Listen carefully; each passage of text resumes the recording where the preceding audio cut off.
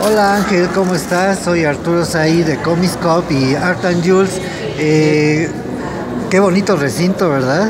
Está hermoso, muy eh, amplio, propio para este tipo de reuniones, de eventos y, y está muy cómodo. Bueno, aquí les presento a Ángel Mora, es el dibujante de Chano, gran dibujante mexicano de los mejores de la época de oro y afortunadamente es mi amigo.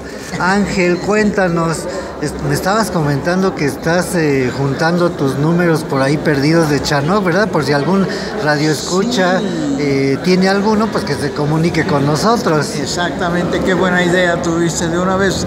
Sí, es que hay una posibilidad de que alguien me los edite en forma de tomos y desde luego en calidad de préstamo yo lo devolvería al que me los preste algunos o si se podría, se me ocurre que podrían sacarle copias y yo les compro las copias.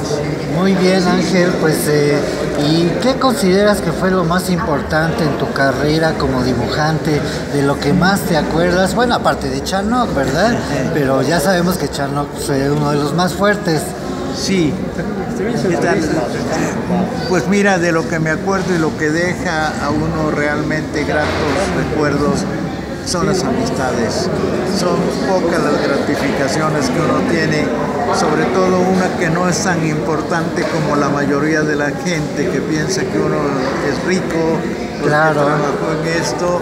Sí. Y mira, pues los editores pues, van a lo suyo, Claro. y ellos a veces se llevan como La mayor parte, de ¿verdad? La parte de- grande del asunto. Pero los amigos Esos son únicos. Y los recuerdos que uno tiene de viajes que ha hecho eh, por la misma profesión que nos ha favorecido hacerlos. Y eso es lo importante. Yo, por ejemplo, pues recuerdo en eso dos veces que tuve oportunidad de ir a Europa. Eh, luego cuando se hizo por la Secretaría de Educación Pública eh, el concurso aquel para encontrar el mejor dibujante mexicano, lo que más gratamente me queda de aquella ocasión que te estoy mencionando es que para jurado la Secretaría trajo a los mejores 10 dibujantes de cada lugar. ¿Nos podrías mencionar algunos? Claro que sí. Mira, vino eh, uno que me, con el que hice una amistad, pero bastante firme y grande, y me precio mucho de eso, que fue el dibujante de Batman. Ah, ¿cuál? Brown. Ah, qué bien, qué bien. Sí, ya te platicaré cómo nos hicimos amigos en uno de estos eventos en Luca, Italia. Genial. Entonces ahí también de España vinieron tres grandes, que uno de ellos fue este Luis García, no sé si tú lo recuerdas. Sí, sí, un Grande, español muy bueno, sí. ¿verdad? Que era muy Bueno, realista. ¿Qué te parece el que dibujaba caballos? ¿Cómo se Sí. este? Eh, bueno, de la Fuente. Exacto, De la Fuente. de la Fuente. Francés, ¿verdad? ¿Era No, francés? era español. ¿Ah, era español? Sí. Bueno, salían sus ediciones en Dargaud, Ah, en bueno, Francia. sí, no, de. Sí, sí, gracias. gran amigo. Sí. Y, eh, tengo un libro que le- de él, que yo lo conservaba antes Sí. que viniera y lo conociera, y se lo llevé a que me hiciera favor de autografiarlo. Ah, qué bien. Y me dio gusto que me pone a Ángel Mora Grande con un poquito de envidia profesional. Genial, pues y yo luego le también. digo, por cierto que le Sí. digo, oye, ¿cómo que envidia a un grande como tú? Y Sí. dice, te voy a decir por qué. Porque tienes una velocidad, ya te vi trabajar. Claro, dice, "No todos te tengo", dice. teníamos envidia. Eso sí. Sí.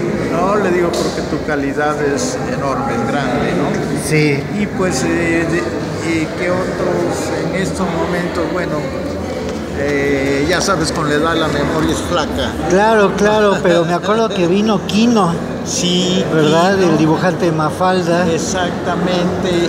Bueno, hubieron 10, te digo, Sí, grandes. bueno, pero pues Pero- conservaste algunas amistades. Sí, y te mira el colofón de esto, que es lo que eh, guardo como más grato recuerdo, es que cuando ellos hicieron su, no nos habían dejado a nosotros eh, conocerlos personalmente, Ah, los ya. organizadores, porque Sí. dijeron no, No vaya a ser que con alguno hacen muy buena amistad, le caen bien y votan por ti porque le Ah, caíste bien. ya, ya entiendo. Entonces no los conocíamos ni yo ni los otros persona. participantes. Sí, Sí. que habíamos hasta el día de la decisión. Ah. Y ese día unánimemente votaron por mí. Genial, pues Pero te voy a felicidades. decir sí. lo grande de esto para mí. Sí. Cuando ya me dieron su voto y dijeron tú eres el ganador, Sí. me dicen los españoles, Ángel, vente con nosotros a Europa. Sí. Me dijeron, eres uno de los nuestros. Ah, qué bien. No, me No, pues se un siente un me dice, orgullo. Llegando tú a Europa tienes argumento. Genial. Pero fíjate que Sí. yo tenía dos hijos pequeños, mi hija Claro. y mi hijo de cuatro y ocho años. Sí. Y todavía ya en España, donde me invitaban ellos, quedaban restos del, bran- del franquismo. No, pues está Y difícil. entonces eh, aquello era, sin que la palabra suene eh, grosera, Una locura. un desmadre. Y te Sí, voy a decir sí, por qué no es grosera, porque los ríos tienen madre. Claro. Madre de los ríos. Cuando Sí. se salen de cauce, podríamos decirse que es un desmadre. Claro, es grosería, ¿verdad? No, Ay, bueno, no. entonces fuera de eso, eh, estaba muy revuelto el ambiente en, en España Sí. y casi en todas partes, ¿no? Pues está y por mis hijos no quise... No, y aquí, como sea, pues había una industria, Exacto. había mucho trabajo, Exacto. eh, trabajabas muy rápido. Ahora ellos me ofrecían esto, mira, aquí tú tienes que producir un episodio entero o más cada semana y lo Sí. haces por tu velocidad. Allá no tienes que trabajar tanto porque ellos gozan de lo que llamamos servicios. Claro, Entonces su trabajo se los publican en todo el mundo. Sí. Imagínate las regalías que obtienen. pues sí, muy y de grandes. ahí, como me decía Víctor de la Fuente, yo hago un cartón por semana casi. y tú haces Uy, 30. Sí, pues qué diferencia, Sí. ¿verdad? Sí, Pues qué orgullo. Sí, pues son de las cosas gratas. Sí, Pues también me da mucho estuve, gusto. estuve en Costa Rica también ocho Ah, días. también. En Ecuador, en, pues sí, en Cuba. ¿Y cómo ves a México con respecto a los demás países? Eh, tuvo una fuerte industria, ¿verdad? Era uno de los No, más fuertes. Fue de las más fuertes. de las más de fuertes. Japón. Después de Japón. Sí, Sí, de las más fuertes. por la cantidad de ejemplares que se Mira, imprimían.